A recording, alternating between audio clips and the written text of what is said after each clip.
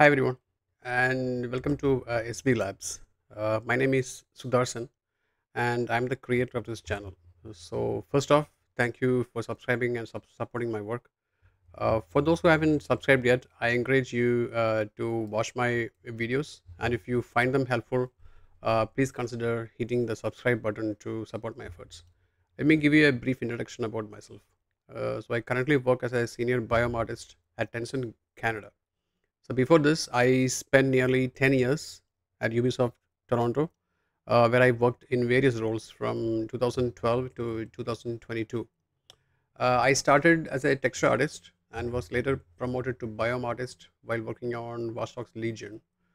All the vegetation you see in that game is my contribution. So afterward, I worked on Far Cry 6, collaborating with a larger team on biomes.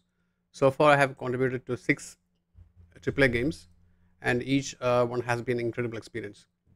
Uh, with over 20 years of experience in 3D art, uh, I wanted to share my knowledge with a wider audience, which led to the creation of SV Labs.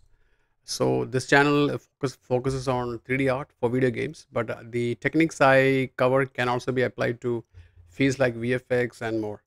So I'll be covering a, uh wide range of topics, including tips for transitioning from 3ds Max to Blender, uh, creating vegetation shaders uh, in Unreal Engine, uh, workflows in Houdini, uh, the SpeedTree pipeline, and using Substance Designer and Painter.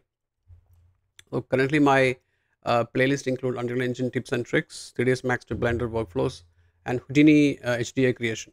So stay tuned for upcoming content on SpeedTree and substance pipelines for vegetation.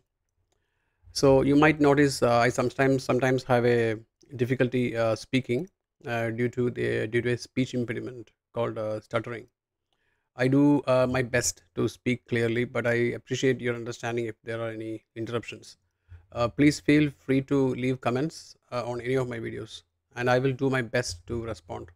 And most importantly, if you find value in the content, uh, please don't forget to subscribe to my channel. Thank you. Enjoy the videos.